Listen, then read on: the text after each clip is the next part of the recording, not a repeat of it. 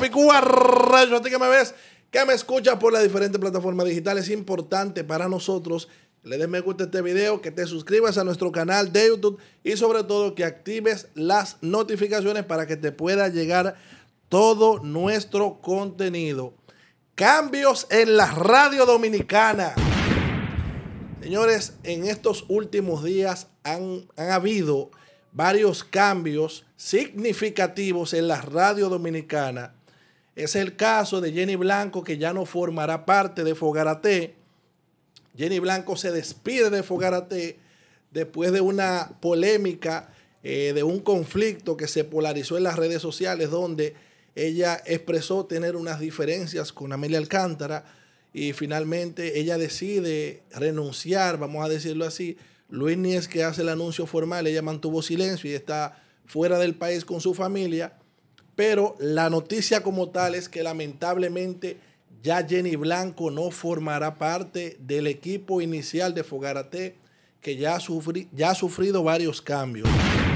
Miren, eh, eh, me da pena porque Jenny Blanco es una profesional de la comunicación y tiene mucha validez porque ha hecho una carrera muy linda y nunca se había visto en un escándalo. Lamentablemente se ve envuelta en este escándalo con Amelia Alcántara, que es una, un, tipo de talento controversial, una persona que genera mucha controversia y que ha hecho una carrera como en ese ambiente de controversia. Sin embargo, Jenny no ha tenido esa orientación en su carrera profesional sobre la comunicación, sino que ha tenido una carrera más linda, más eh, orientada, más limpia, más equilibrada y sobre todo es una figura muy potable porque tiene muchas marcas que están cerca de ella. Hay que definir, y eso es bueno decirlo, hay que establecer que hay talentos que se mantienen con el sonido constantes y hay otros que no, porque hay talentos que se mantienen en, esto de las plataformas porque generan controversia, generan bulla, y hay otros que se mantienen estables, que los buscan las marcas porque han hecho una carrera no basándose en controversias, sino en un trabajo bien acabado, en un trabajo bien definido. Y es el caso, repito, de Jenny Blanco. Otra persona que sale eh, y no sale de buena manera es Lisbeth. Lisbeth eh, sale de Esto No es Radio. Ella hace, Lisbeth Santo hace unas declaraciones en un programa eh, dominical donde, bueno, lo hizo en ese programa y lo, lo, hizo en dos programas realmente. Y lo que ella dijo, al parecer, no le gustó a Santiago Matías y al día siguiente fue desvinculada de Esto No es Radio. Ella dio las declaraciones, yo creo que la empresa la protegió porque dejó que sea ella que lo diga formalmente. Y luego entonces la empresa se hizo eco de que ella no estará formando parte ya de Esto No es Radio. Se despide, Lisbeth, Blanc, eh, Lisbeth Santos se despide de Esto No es Radio. Eh, luego haberle tenido una participación. están habiendo muchos cambios en las radios, en las plataformas.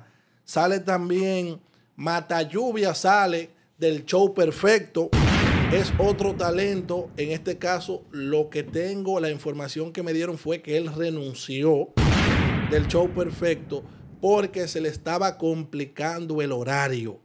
Esa es la información. Manolo habló sobre el tema, pero también hace unos dos meses, tres meses, Raulito Grisanti también sale del show perfecto.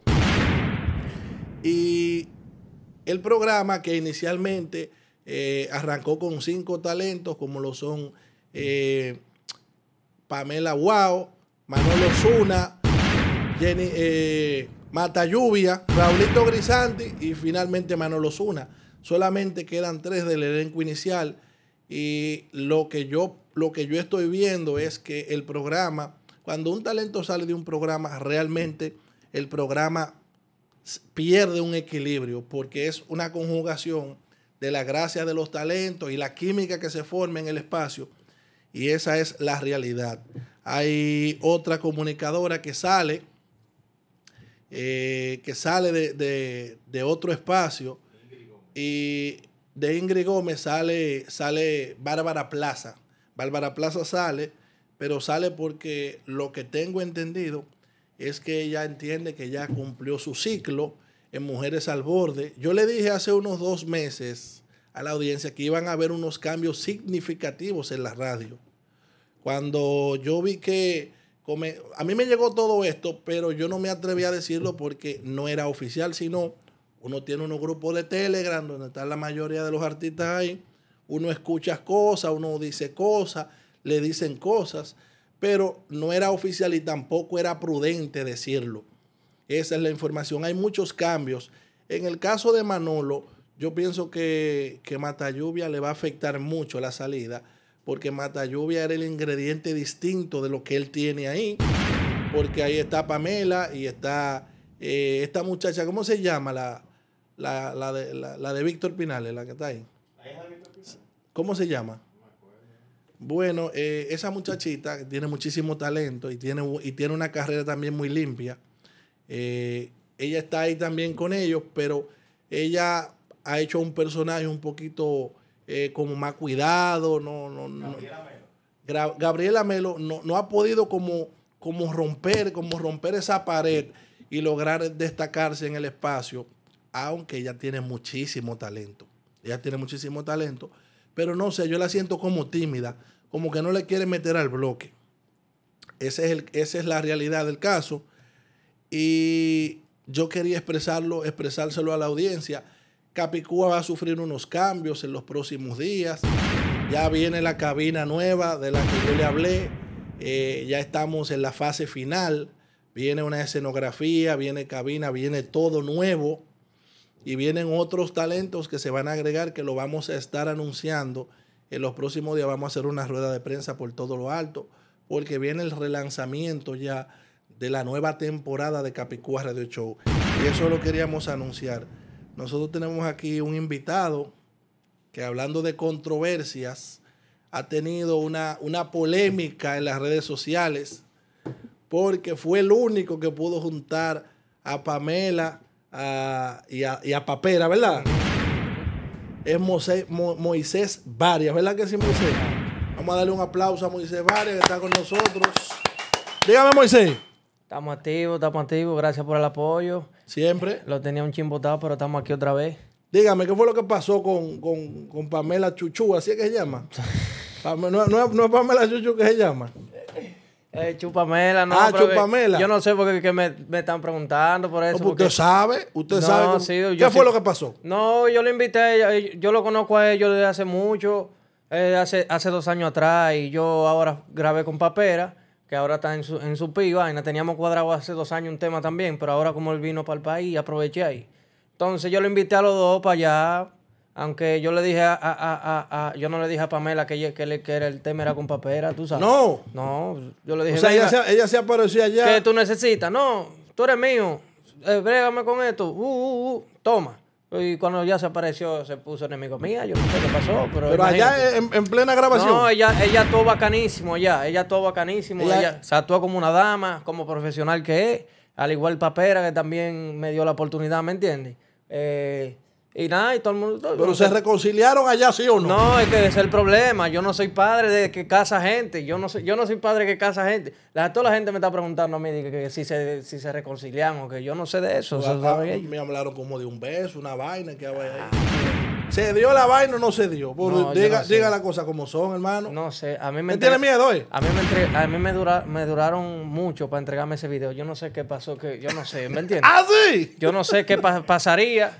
Me entregaron, me duraron mucho para entregarme ese video que me lo hizo Crifil. Crifil, ponte claro conmigo. Una edición ahí. No, yo no sé qué pasó. Me lo entregaron tarde y, y yo dije, pero ven acá, ¿y por qué me lo entregaron tarde este video? Y, el video ya me, decían que estaba listo hace, hace ratico y después que había que editar una vaina. Yo no ¿Ya el video está en el aire? Sí, ayer lo lanzamos ayer. Ya lo lanzaron ayer. Todo el mundo ya está con ese video, todo el mundo está. ¿Cómo se llama el video para que la gente lo pueda Choco, choco, choco. Todo el mundo para YouTube le da papel espérate, y se va. ¿Cómo se llama la vaina? Choco, choco. Así mismo. ¿Choco, choco? Sí. si es verdad que tú eres loca y que te patina el coco, ven, préstame a tu novia para que vea cómo la choco. ¡Eh! Choco, choco, choco, choco, choco. Espérese. Espérese que este programa no es así. Eh. ¿Y cómo, cómo, la gente lo puede buscar a usted en las redes sociales? Moisés Varia, en todo en todo, en todas las redes sociales, en todas las plataformas digitales, Moisés Varia. Usted me busca ahí Y vaya para YouTube, que ¿cuál es la cámara mía? Eh, eh, ahí está. Vaya para YouTube, Moisés Varia y Papera, Choco Choco, eh, denle en play, hagan su TikTok que lo vamos a subir. Finalmente, ¿qué viene en la carrera de Moisés Varia? Tienen muchas colaboraciones de, con artistas ya establecidos. ¿Confirmados? Sí, ya confirmados. Solamente estamos esperando el break. Porque ahora tú, tú sabes, yo tengo una compañía, me la organizan. Este tema ahora con papera, después vamos a tirar un tema solo, un- una vaina bacana que viene por ahí con una diquera bien bacana, que si Mm. me dan un menudito, yo creo que el loquito se va a poner bacano. eh, y no, no, trabajando, Trabajando. trabajando. Si estamos todos trabajando a ver qué aparece. Sí. Vámonos.